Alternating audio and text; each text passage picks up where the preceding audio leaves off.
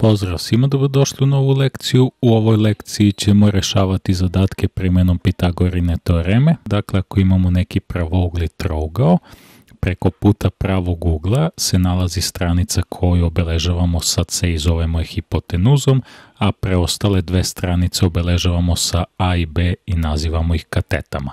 Ako hoću da nađem kolika je dužina hipotenuze, primjenom Pitagorine teoreme mogu da dobijem da je C jednako koren iz A na kvadrat plus B na kvadrat. Slično tome ako mi A nepoznato, A mogu da dobijem kao koren iz C na kvadrat minus B na kvadrat i B mogu da dobijem kao koren iz C na kvadrat minus A na kvadrat. Ajmo da rešimo sada jedan zadatak koristeći te formule. Ovdje imamo pravougli trougao, nepoznata je dužina stranice x. Šta je nama ovdje x? Nama je ovdje x hipotenuza jer se nalazi preko puta pravog ugla. Dakle, ovo x nam je zapravo c. Tako da to x nam je nepoznato i možemo da ga dobijemo po formuli da je c jednako koren iz a na kvadrat plus b na kvadrat. A šta će nam biti a, šta će nam biti b? Pa a i b će nam biti katete, sve jedno je. Možete da kažete da je a8, a da je b6 ili obrnuto da je b8, a6. I dobijamo da je c, odnosno x, jednako koren iz a na kvadrat. a je 8, dakle bit će 8 na kvadrat plus b na kvadrat, to je 6 bit će 6 na kvadrat, c jednako koren iz 8 na kvadrat je 8 puta 8, 8 puta 8 je 64, znači to će biti 64 plus koren iz 6 na kvadrat, 6 na kvadrat je 6 puta 6, a to je 36 c će biti jednako koren iz, kada saberemo 64 36 dobit ćemo da je to 100, c će biti jednako korenu iz 100, koren iz 100 je 10 i dobili smo dužinu naše hipotenuze, dakle ovdje je x jednako 10. Kako sada možemo da nađemo dužinu ove nepoznate stranice x?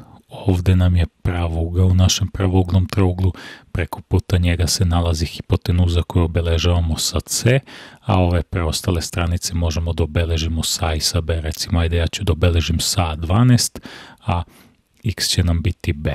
I onda premenjamo formulu, s obzirom da nam je b nepoznato, premenjamo formulu da je b jednako koren iz c na kvadrat minus a na kvadrat, odnosno b će biti jednako koren iz c je 13, dakle to će biti 13 na kvadrat minus a na kvadrat to je 12 na kvadrat.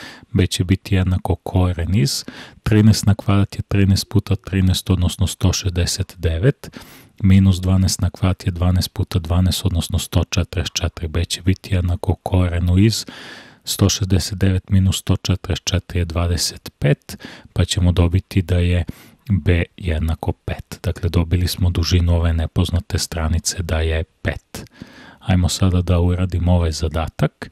Imamo pravougli trougao, Ovdje je prav ugao, preko puta njega je hipotenuza, hipotenuzu obeležavamo sa C, a ove preostale stranice obeležavamo sa A i sa B. Ajde, ja ću ovu donju da obeležim sa gornju sa B.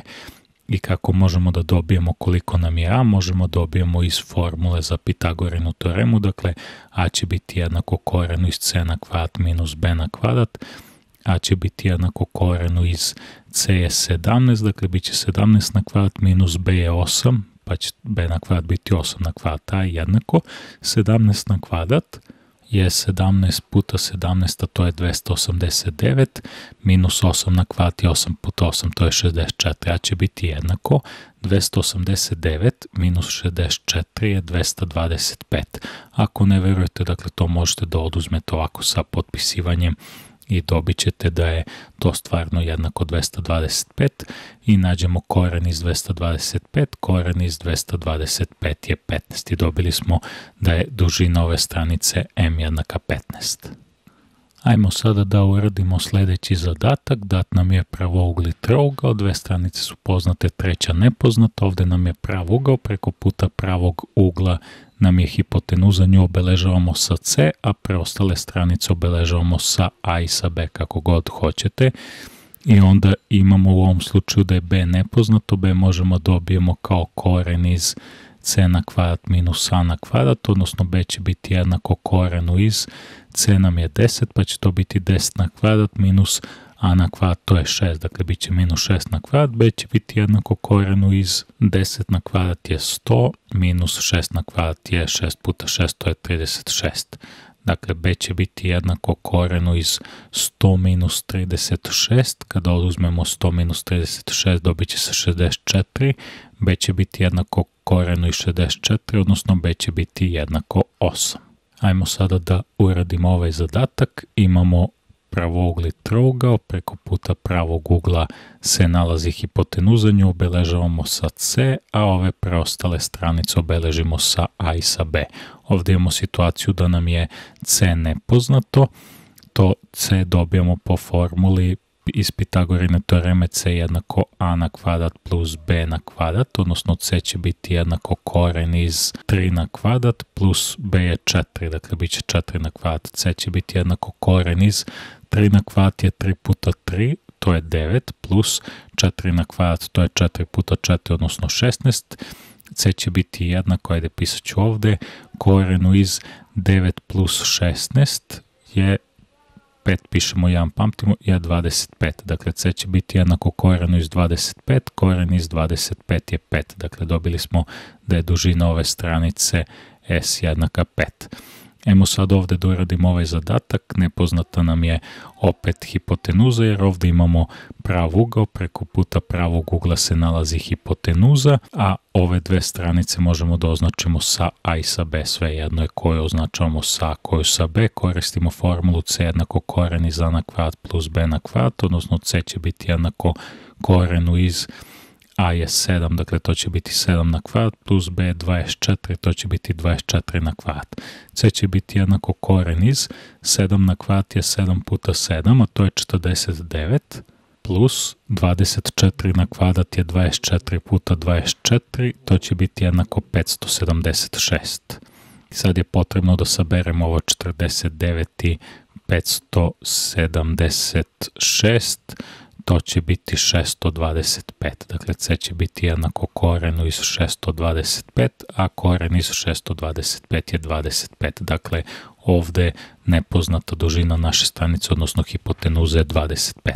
Ajmo sada da uradimo ovaj zadatak.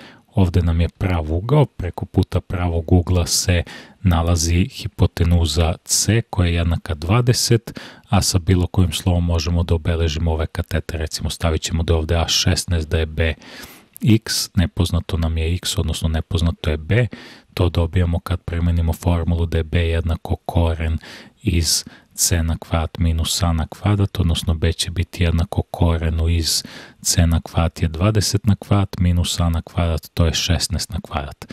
b će biti jednako korenu iz 20 na kvadrat je 20 puta 20, 20 puta 20 je 400, minus 16 na kvadrat je 16 puta 16, 16 puta 16 je 256 i onda je potrebno da vidimo koliko je b kada oduzmemo 400 minus 256 dobit ćemo 144, dakle b će biti jednako korenu i 144, b će biti jednako 12, odnosno dužina ove nepoznate katete će biti jednaka 12.